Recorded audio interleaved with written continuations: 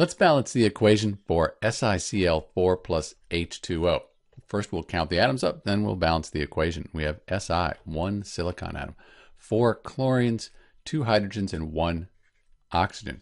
Product side, Si, we have one of those, one chlorine, four hydrogens, but be careful because there's a hydrogen here with the hydrochloric acid.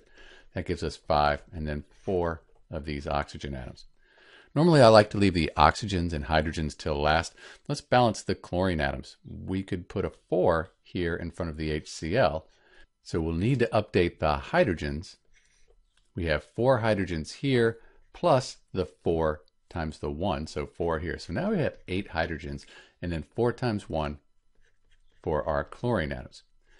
It looks like we could balance the hydrogens now. We could put a 4 here in front of the H2O since we have an even number here now.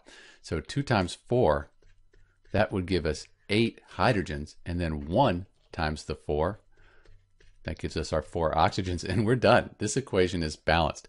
Very often people have problems with an equation like this because they count these 4 hydrogens and they forget this hydrogen here. So you got to make sure you count all of the hydrogen atoms.